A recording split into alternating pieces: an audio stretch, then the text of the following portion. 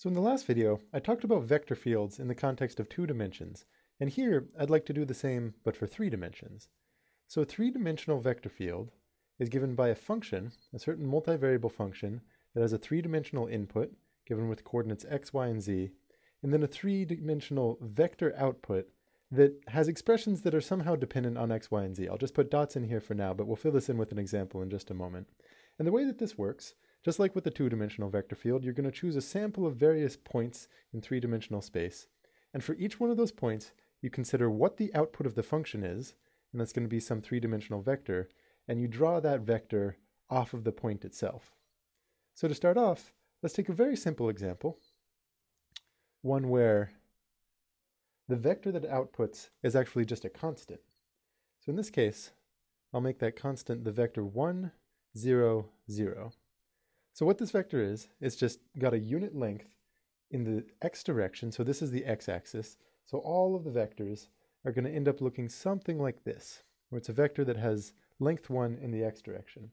And when we do this at every possible point, well, not every possible point, but a sample of a whole bunch of points, whoops, we get a vector field that looks like this. At any, at any given point in space, you get one of these little blue vectors, and all of them are the same. They're just copies of each other, each pointing with uh, unit length in the x direction. So, as vector fields go, this is relatively boring, but we can make it a little bit more exciting if we make the input start to depend somehow on the actual input. So what I'll do to start, I'll just make the input y, 0, 0. So they're still just going to point in the x direction, but now it's going to depend on the y value. So let's think for a second before I change, change the image what that's going to mean. The y-axis is this one here. So now the z-axis is pointing straight in our face. That's the y. So as y increases value to you know 1, 2, 3, the length of these vectors are going to increase. It's going to be a stronger vector in the x direction, a very strong vector in the x direction. And if y is negative, these vectors are going to point in the opposite direction. So let's see what that looks like. There we go. So in this, in this vector field, color and length are used to indicate how the magnitude of the vector. So red vectors are very long, blue vectors are pretty short, and at zero we don't even see any because those are uh, vectors with zero length. Um, and just like with two-dimensional vector fields, when you draw them, you lie a little bit. This one should have a length of 1, right? Because when y is equal to 1, this should have a unit length, but it's made really, really small. And this one up here, where y is, you know, 5 or 6, should be a really long vector. But we're lying a little bit because if we actually drew them to scale, it would really clutter up the image. So a couple things to notice about this one. Since the output doesn't depend on x or z, if you move in the x direction, which is back and forth here, the vectors don't change. And if you move in the z direction, which is up and down, the vectors also don't change. They only change as you move in the y direction. Okay, so this is, we're starting to get a feel for how the output can depend on the input.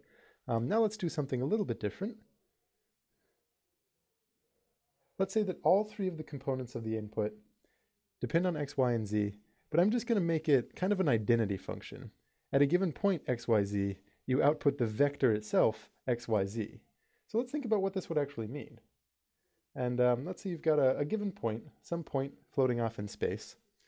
What is the output vector for that? Well, the point has a certain x component, a certain y component, and a z component. And the vector uh, that corresponds to xyz is going to be the one from the origin to that point itself. Let me just draw that here. From the origin to the point itself. And because of how we do vector fields, you move this so that instead of stemming from the origin, it actually stems from the point. But what, the main thing to take away here is it's going to point directly away from the origin. And the farther away the point is, the longer this vector will be. So with that, let's take a look at the vector field itself. Here we go. So again, you kind of lie when you draw these. Like the vectors, these red guys that are out at the end, they should be really long, because this vector should be as long as that point is away from the origin. But to give a, a cleaner vector field, you scale things down, and notice the blue ones that are close to the center here are actually really, really short guys. And all of these are pointing directly away from the origin. And this is one of those vector fields that is actually pretty, a good, a good one to have a strong intuition of, because um, it comes up now and then, thinking about what the identity function looks like as a vector field itself. Um, in the next video, I'll I'll talk through another example that's a little bit more complicated than this and can hopefully give an even stronger feel for how the output can depend on x, y, and z.